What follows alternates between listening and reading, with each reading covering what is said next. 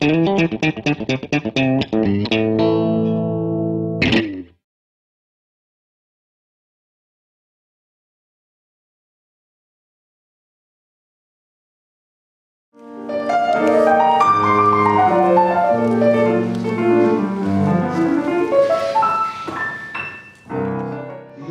un ex studente di conservatorio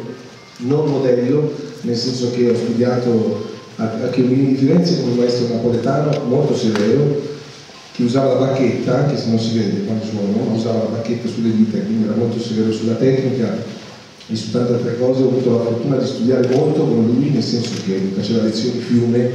eh, per cui io arrivavo a casa e potevo dedicarmi a tutt'altro, quindi studiavo jazz, andavo a suonare nei gruppi, eccetera, eh, di nascosto, per cui all'epoca il jazz era proprio ostracizzato, specialmente a Firenze, per cui io sono stato scoperto solo all'anno del diploma e ho rischiato anche perché un mio insegnante mi ha, mi ha chiesto di suonare un brano a, a due giorni dal diploma, qui, e, e ho, temuto, ho temuto che non mi presentasse il diploma. Sembra una storia del 1800, invece era, era la verità, poi è andata bene in realtà, ho fatto un pezzo, lui è piaciuto, è stato zitto. E adesso io forse l'ho, molto sottovalutato, adesso viene sentito ed è molto contento anche, per cui eh, forse ho sbagliato io, ma non credo, io penso che da allievo lui preferisse immaginarmi come allievo modello e adesso che sono un collega, cioè un maestro come lui, posso fare come voglio.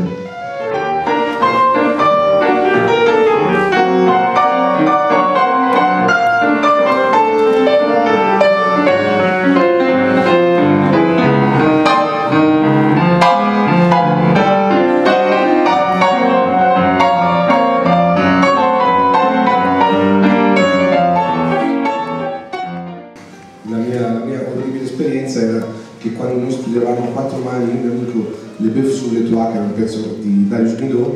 è entrato un insegnante, ci voleva far smettere, ha detto che la musicaccia, la saloon, la saloon e la cabaret, si usavano ancora questi termini, e che quindi dovevamo smettere, che si faceva musica seria, eccetera, e per fortuna avevamo lo, spartito, c'era scritto edizioni Turani, Darius Milhaud, e lui ha riconosciuto il nome e ha detto vabbè allora potete continuare perché sennò altrimenti non, non ci avrebbe fatto continuare perché il pezzo faceva così e probabilmente era troppo allegro più do maggiore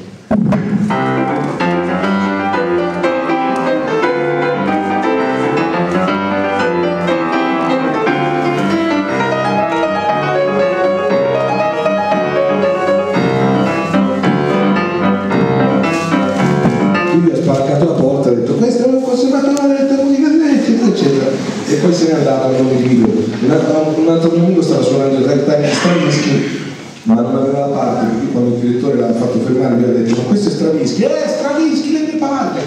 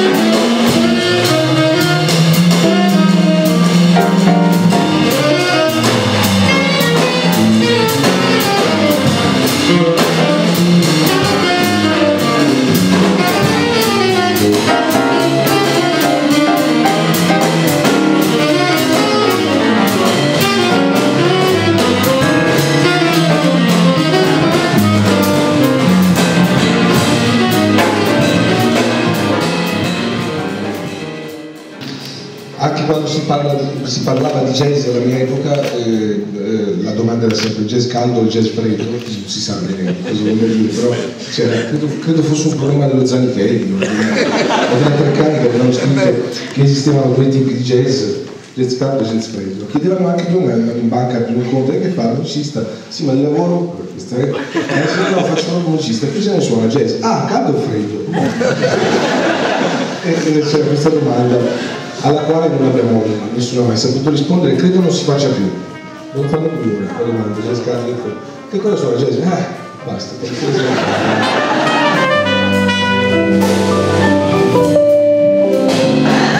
Comunque per dire che eh, sto parlando di, di, pochi anni fa eppure la situazione era drammatica, adesso per fortuna è cambiata e io so che appunto quelli che partecipano al corso di jazz vengono anche dal corso classico, quelli che, che suonano jazz oggi sono molto preparati, hanno, sono, i pianisti che suonano jazz oggi sono quasi tutti diplomati, nella storia del jazz non è così, i musicisti classici masticano qualcosa di jazz o se non lo masticano sanno già, sanno almeno di cosa si tratta, ecco, io ricordo invece che all'epoca eh, i miei compagni di corso facevano anche liceo musicale, i compagni di corso non capivano cosa voleva dire improvvisare, pensavano che volesse dire che uno metteva le mani a caso e venivano fuori delle cose. Quando poi eh, dovevano ammettere che riconoscevano le stesse regole dell'armonia classica, andavano in tilt